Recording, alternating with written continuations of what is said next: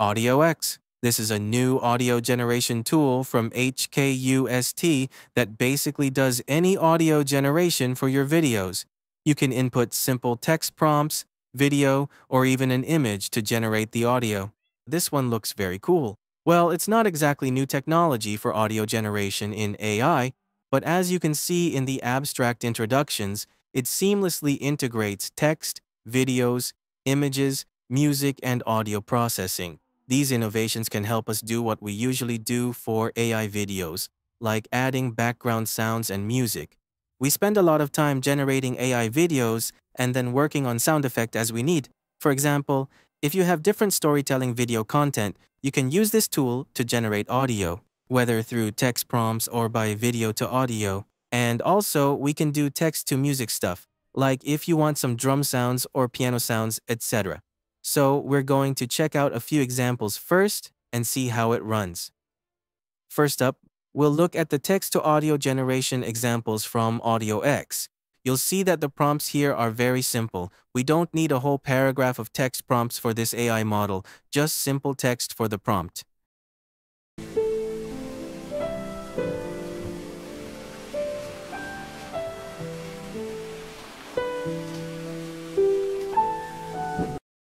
And also ocean wave crashing. Let's check this one out too.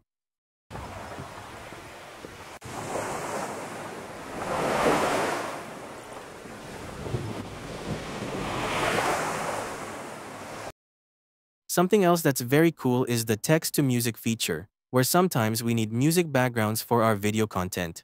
If you want some basic instrument sounds, this tool can run and generate them freely, right on your local machine. Let's check out these three examples and we'll go over the rest of the features later.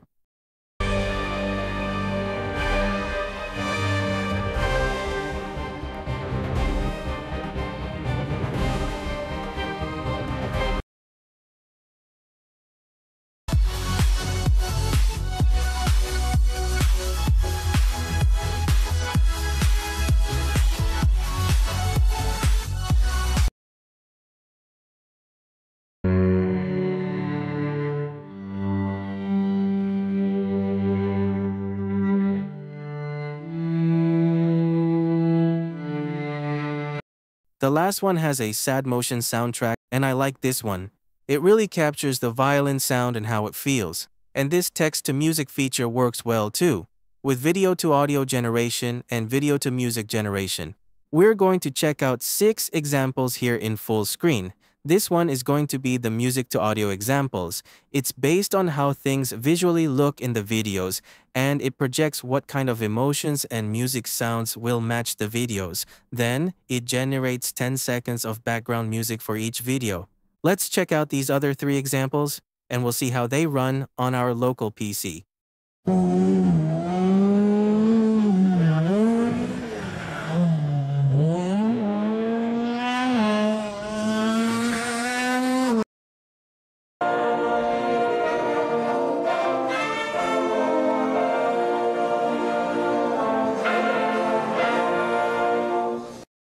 The sound quality is really nice. Well, it looks promising to have this as a tool. Just like what we've talked about in previous videos with MM Audio. Well, MM Audio has a similar way of working, matching audio features based on the video and creating background sounds. But then MM Audio doesn't have the same level of prompt adherence that lets you input text prompts for whether it's background sound or background music for the video. So, AudioX does this even better with a few options that let you choose between background sound, background music, or just inputting text to generate audio from text or image.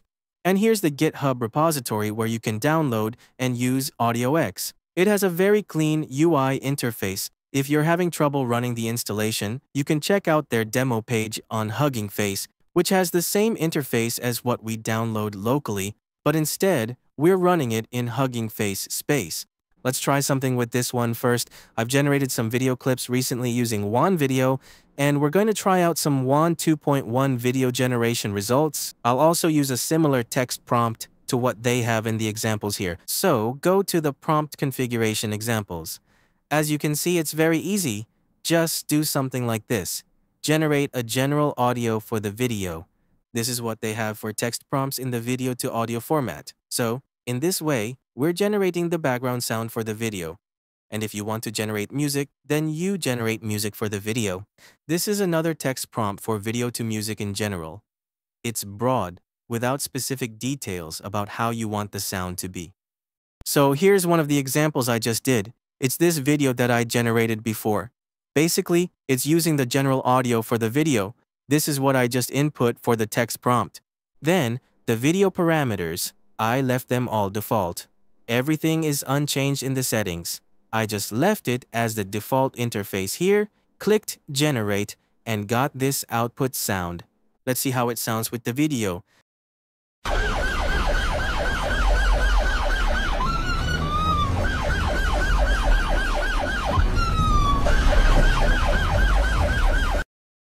Basically, this one can also be used to generate audio for AI video content.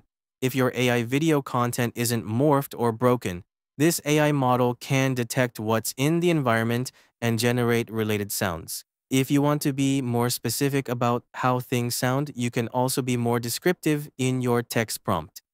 For example, if you want to generate audio for a video that includes motorcycle engine sounds or car engine sounds, you can describe it here, like motorbike engine sound or car engine sound, something like that.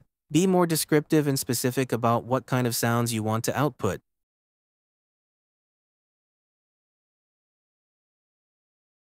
So I got this and other generations based on this text prompt. I got the engine sounds for the video, including the motorbike and car engine sounds. This is very specific to what I wanted to output, and let's hear how it sounds with the video.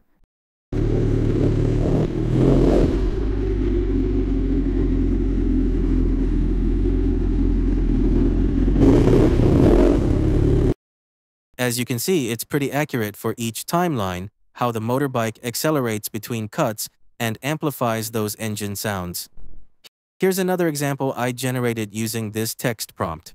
Generate sounds for a video with horse riding, desert, and wind. Mix those three elements together and match them with this AI video I generated before. Let's check out how it sounds.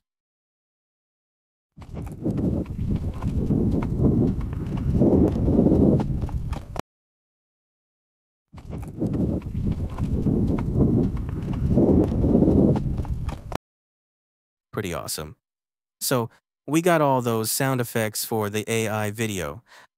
I've got another example from a previously generated video using image to video. Then I brought it into this tool to generate music for the video. I described it as mystery, dark, and cinematic, so those elements were included in how the music would sound. Let's check it out.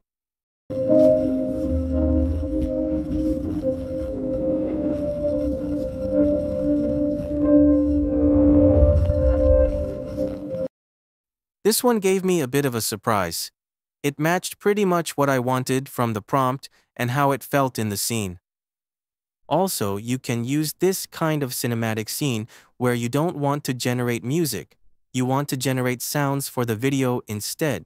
For example, we can generate sounds for rain and footsteps of people walking. We can go back to the text prompt and update it here. Like the examples I did earlier, generating sound for the video with footsteps and rain in an urban setting. Let's check out how it sounds.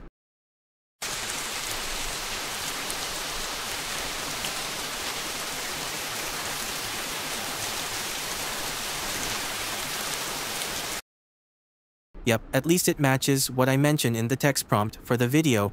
Then, let's try with more different kinds of stuff. Scenes where you can generate background music for the scene this is most likely what people will use for integrating action and sounds to make the whole content more cohesive. This example is another one for car engine sounds. I just put a very simple text prompt here. We can check out how it's generated in real time and then we'll see how it sounds.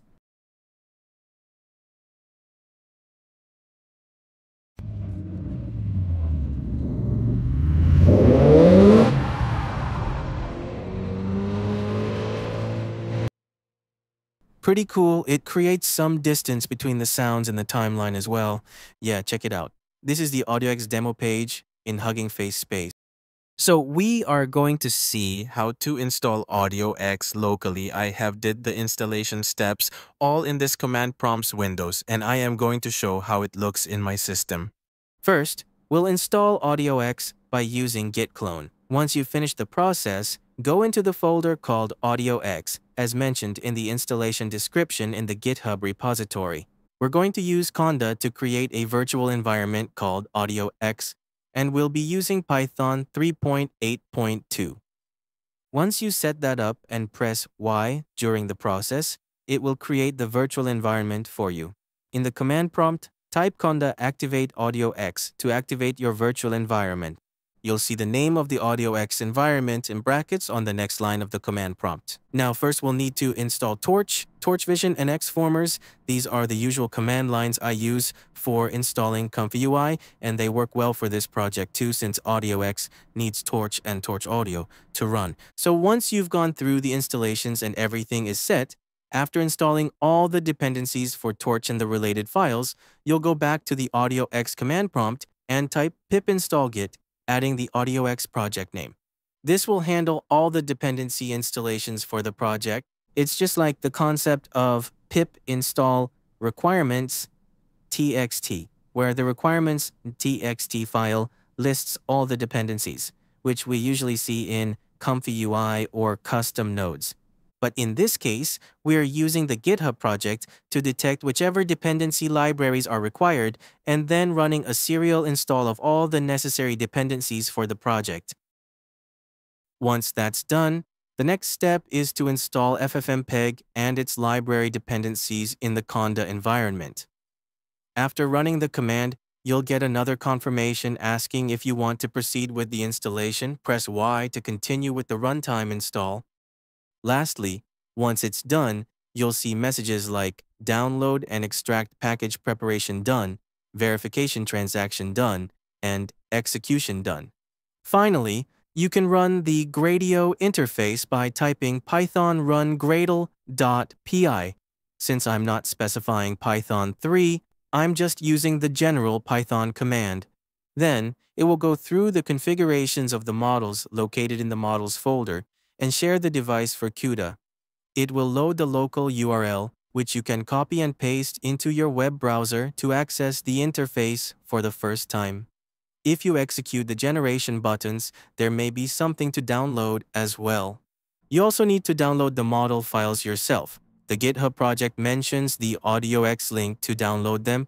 We need the model files and the configuration JSON files. Place these files into a subfolder called Models. So in your AudioX folder, first create a subfolder named Model. Once you have this model folder, download these two files into it. These models are essentially the heart of the AI that runs AudioX. Once you're done setting this up, you can continue running the Gradio interface and start playing around with it. First, you'll see the interface with options for input. You can use text prompts only, input a video folder path, or upload a video just like what I did here. You can drag and drop your video files onto the interface to generate background music or sound effects for your video. After you install it, next time you want to start it again on your local machine, you first go to activate Conda, and then in the command prompt, you type Python, run the gradio.py script with the model config files, and it will start booting up your CUDA. It will load the local URL, which you can copy and paste into your web browser. Here, I've tried it with my local URL, it's running fine, so you can play around with it just like you do in Hugging Face Space. Same UI, right here. I've tried it and it works. In this one, I generated a video for a horse riding scene. Basically, this scene was previously generated using WAN 2.1 VACE. I did a in-paint mask for the princess-alike figure in a green dress, and she's riding a horse past a row of trees. Let's check out this example. Yeah, it works and successfully generates the audio output, and if you have other footage, you can try that out too. It's all going to run easily on your local machine. AudioX lets you generate unlimited sound effects, music, and all the background music for your video content. You can also just use a text prompt to generate sound. And if you don't want to upload video files here to duplicate your files in your AudioX GitHub project folder, you can always point to the video path that exists on your computer. So, whatever file path you have for your MP4 files, just copy and paste it here, the same way it loads videos in the upload panel. That's it for this video, a very simple, quick, basic way to get your AI content and generate correlated sounds for your video content. I'll see you in the next video. Have a nice day. See ya!